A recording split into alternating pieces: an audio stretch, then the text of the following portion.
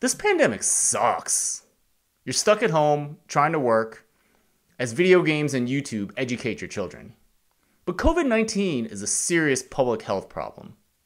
One of the reasons is the math behind how the disease spreads. You might have heard the words exponential growth. In this video, I'll explain the concept through pictures and a simple problem.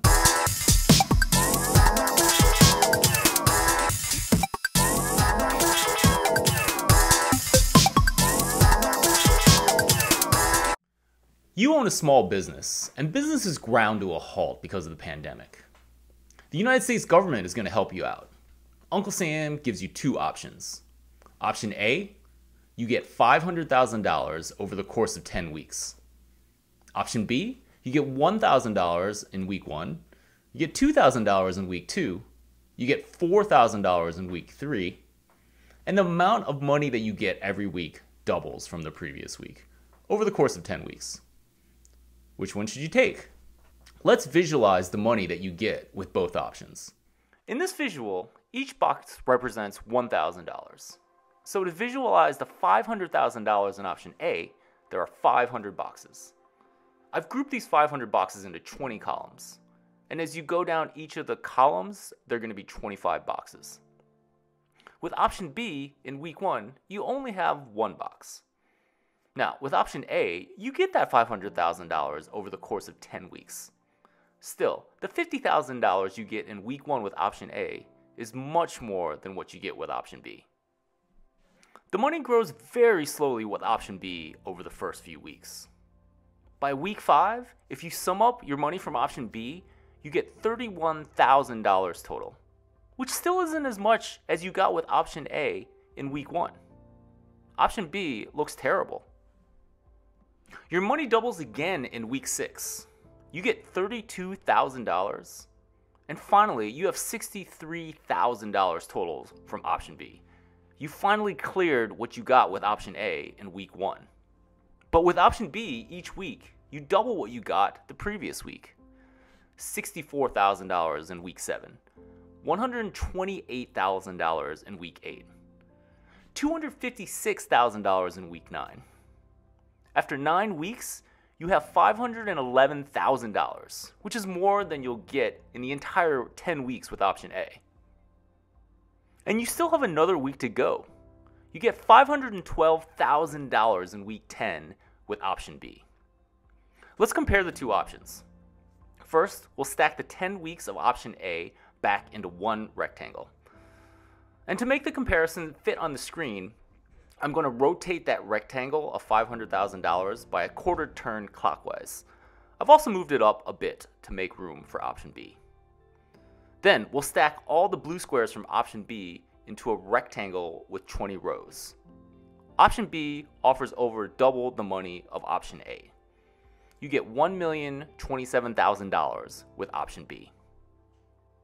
Let's look at these two options plotted as a function of time.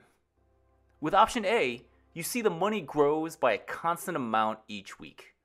You get $50,000 each week. The money from option A is a straight line, which shows you how your money grows by a constant amount each week. With option B, you see a different picture.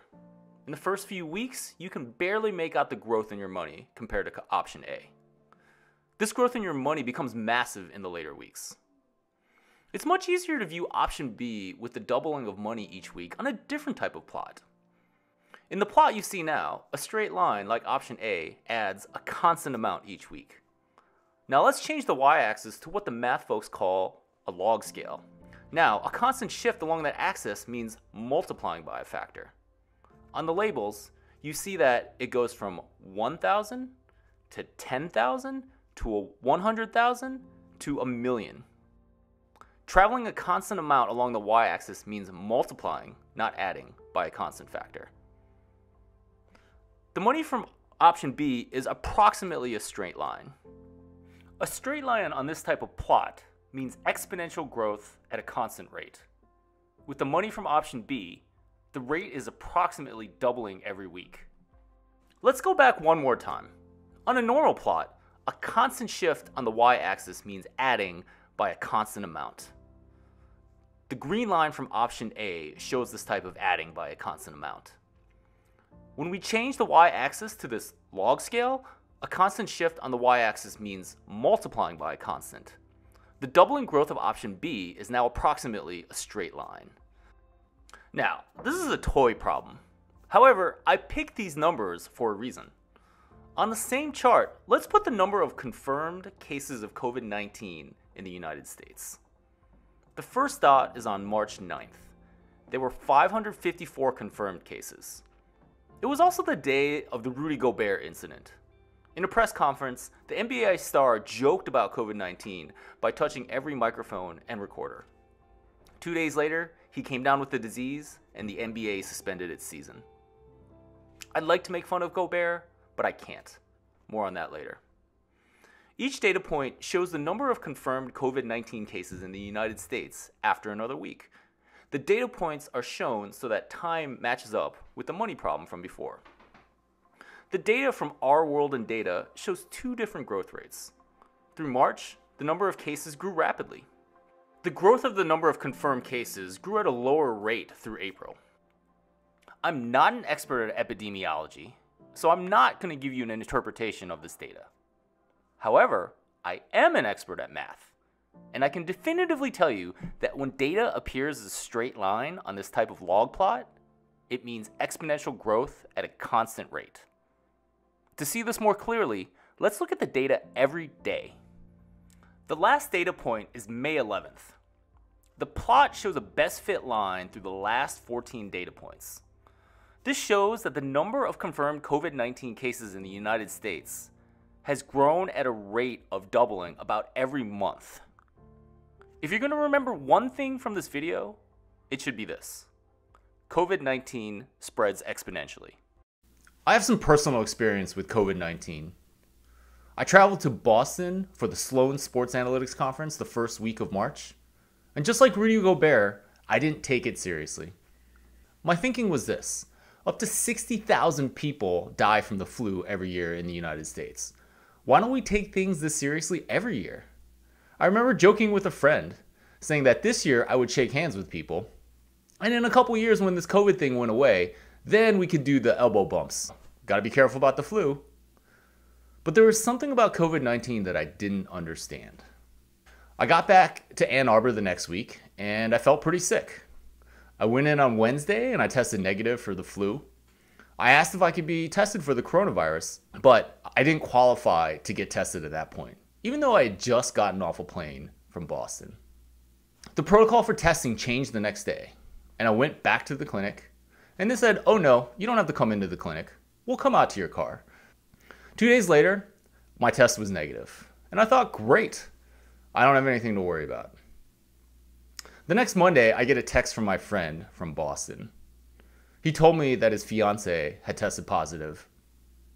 And that's when I thought, oh, crap. It was Friday night in the Liberty Hotel, and we were all having drinks and having a good time.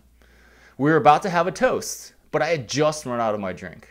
She was kind enough to pour me a little bit of hers, and we all had a toast. By the end of the week, two more of my friends had tested positive, and two more of my friends from Boston were very sick. COVID 19 ripped through my friends in Boston like Baby Yoda went through the internet. Then, the next week, my wife tested positive. So, I guess there's some small chance that I had a common cold while everyone else I was around in a two week period had COVID but I don't really think that's the case. The thing that I didn't realize about COVID was how infectious it was. The research shows that COVID is more infectious than the flu, and I have personal experience with that. The infectiousness of the disease definitely governs how it grows. And remember, the data shows that the number of cases in the United States is still growing exponentially. Thanks for watching this video. My name is Ed Feng. I highly recommend checking out some of the plots of COVID 19 on this log scale. I have left some links to the New York Times and Johns Hopkins below. I've used this problem of option A versus option B where the money doubles in math class before. However, I only got inspired to make this video after they talked about this problem on Radiolab and how it related to COVID-19. If you like this video, please hit the thumbs up button If you like the idea of more videos based on data visualization, please subscribe to this channel. It'll definitely give me the motivation to make more of these. Mimo, is there anything that you would like to add?